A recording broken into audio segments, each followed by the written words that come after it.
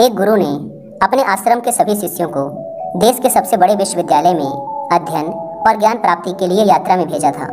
अध्ययन का समय पूरा होने पर एक को छोड़कर बाकी सभी शिष्य आश्रम में गुरु के पास वापस आ गए। गुरु विश्वविद्यालय से वापस लौटे शिष्यों के ज्ञान और शास्त्र अध्ययन को देखकर और उनके बारे में सुनकर बड़े प्रसन्न थे। शिष्यों ने बहुत सारे शास्त्रों और ग्रंथों को कंठस्थ कर लिया था। कुछ महीनों बाद वह पीछे छोटा हुआ शिष्य भी आश्रम वापस आ गया। गुरु ने कहा तुम सबसे बाद में आए हो, इसका मतलब तुम सबसे ज़्यादा सीख कर आए होगे। उस शिष्य ने कहा, मैं कुछ सीख कर नहीं आया हूँ, बल्कि आपने जो सिखाया था, उसे भी भूल आया हूँ। इससे ज़्यादा निराशाजनक उत्तर, गुरु के लिए और क्या हो सकता था? उस दिन के बाद से, गुरु की नज़रों में, उस शिष्य के प्रति स्नेह और सम्मान थोड़ा सा कम हो गया था। उस दिन के बाद से, उस शिष्य को आश्रम के सबसे उपेक्षित और मुश्किल कामों को करने के लिए दिया जाता था। ऐसे ही कुछ दिन गुजरे, फिर एक दिन वह शिष्य दोपहर में गुरु की मालिश कर रहा था। पीठ की मालिश करते वक्त अपने आप ही उसके मुँह से निकल गया। मंदिर तो बहुत सुंदर है, लेकिन अंदर भगवान की मूर्त नहीं है। यह शब्द सुन गुरु के क्रोध का ठिकाना ना रहा। निश्चित रूप से ही यह शब्द गुरु के लिए ही कहे गए थे। उनके उस सुंदर शरीर को ही शिष्य ने मंदिर कहा था। गुरु के क्रोध को देखकर शिष्य ज़ोर ज़ोर से हंसने लगा। ये ऐसा था, मानो किसी ने आग में ही घी डाल दिया हो। क्रोध में आकर गुरु ने अपना अपमान करने के आरोप में उस शिष्य को आश्रम से बाहर निकाल दिया। फिर एक रोज गुरु अपने कक्ष में बैठकर शास्त्रों का अध्ययन कर रहे थे। तभी अनायास ही कहीं से आकर वह शिष्य गुरु के समक्ष बैठ गया। गुरु शास्त्रों का अध्ययन किए जा रहे थे और वह चुपचाप बैठा सुन रहा था। तभी एक जंगली मधुमक्खी कक्ष के अंदर आकर बाहर जाने का रास्ता खोजने लगी। द्वार तो अभी खुला ही था, वही द्वार जहाँ से वह अंदर आई थी। लेकिन वह अंधी होकर व्यर्थ ही बंद खिड़की से बाहर जाने का प्रयास कर रही थी। इस व्यर्थ प्रयास में वह बार बार खिड़की से टकराकर खुद को घायल कर रही थी। उसकी लगातार भिनभिनाहट कक्ष के शांत वातावरण में गूंज रही थी। तभी अचानक ही वह शिष्य खड़ा हुआ और ज़ोर से चिल्लाते हुए उस मधुमक्खी से बोला, अरे ना समझ वह द्वार नहीं, दीवार है। जरा रुक और देख, वापस जाने का भी द्वार वही है जहाँ से तू अंदर आई थी। उस मधुमक्खी ने तो नहीं, परंतु उस गुरु ने इस बात को सुना और उसे द्वार मिल गया। उसने पहली बार उस शिष्य की आँखों में बड़े ध्यान से देखा और उसने पाया कि यह शिष्य अब वह इंसान नहीं था जो यात्रा में गया था। यह तो एकदम ही अलग इंसान था। यह एकदम ही अलग आँखें थी।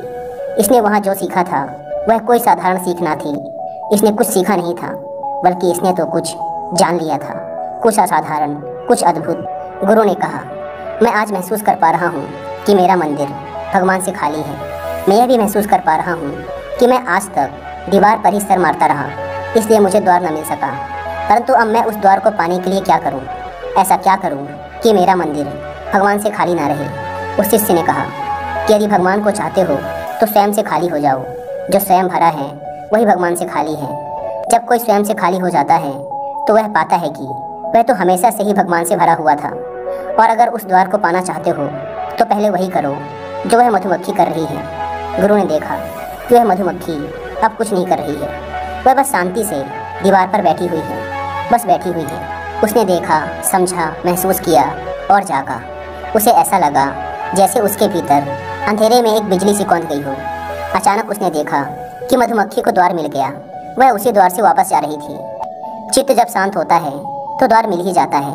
जब अंदर की सारी भागदौड़, सारी खोज खत्म हो जाती है तो चित्त शांत हो जाता है और शांत व शून्य चित्त ही वह द्वार है। गौतम बुद्ध ने भी अपने उपदेशों में कहा है कि चित्त का शांत होना ही खुद को जानने की दिशा में बढ़ाया गया पहला कदम है। गौतम बुद्ध ने अपने उपदेशों में इस बात पर ज़ोर दिया है कि अगर कोई इंसान खुद को जानना चाहता है तो सबसे पहले उसका अपने विचारों और भावनाओं पर पूर्ण नियंत्रण होना चाहिए। लेकिन इसका मतलब ये नहीं कि आप सोचना ही बंद कर दें। यह तो एक साधारण इंसान के लिए संभव ही नहीं है।